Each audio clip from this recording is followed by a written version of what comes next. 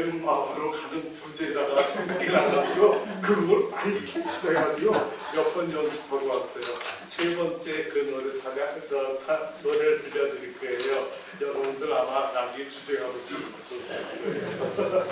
아, 제일 마지막 스테이지에 우리들 그리고 사랑해서 이렇게 엠마오 마을로 순서대로 오고 끝난 다음에 또저 병동에 가서 한한 주로 더 드릴 수 있습니다.